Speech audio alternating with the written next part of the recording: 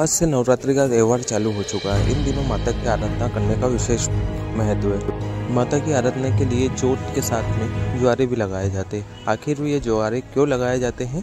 आइए जानते हैं पंडित जी से। जी, भारतवर्ष में अनेक प्रकार के त्यौहार मनाए जाते हैं। नवरात्रि का अपनी बात कर रहे हैं। नवरात्रि साल भर में चार नवरात्रि आती हैं। दो गुप्त आती है, दो सिद्ध आती हैं।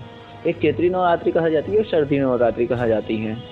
यह गणेश उत्सव के पास श्राद्ध पक्ष और श्राद्ध पक्ष के पश्चात सर्दी नवरात्रि आती हैं। यहाँ पर घर घर में हिंदू धर्म का व्यक्ति भगवती देवी की आराधना करता है तथा नौ दिन तक उनकी आराधना तथा पूजन करते हैं और अलग अलग रूपों में उनको पूजा जाता है।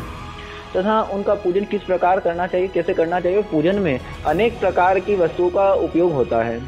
जो सर्दी नवरात्रि हैं, यह तीन तारीख से, तीन अक्टूबर से प्रारंभ हो रही है।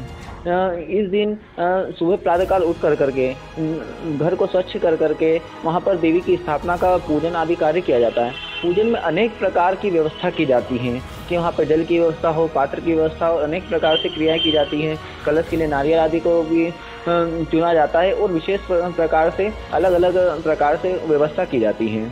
और उसी व्यवस्था में हम देखते हैं कि हर स्थापना होती है, वहाँ पे जो बोया जाता है।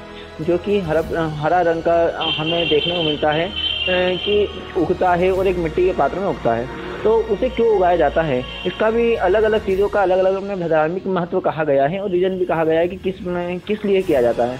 यहाँ पर पौराणिक कथाओं के अनुसार मान्यता है कि तो कहा जाता है कि पृथ्वी का जो पहला अन्न था, वो जो कार्य जो हुआ इसलिए सर्दी, नवरात्रि तथा जितनी भी नवरात्रि आती है, वहाँ पर दीप जलाया जाता है, जो बोया जाता है। और इसी कारण जो का जो का पूजन होता है, उसे शक्ति स्वरूप मान करके उनका पूजन किया जाता है, जो बोई जाती है।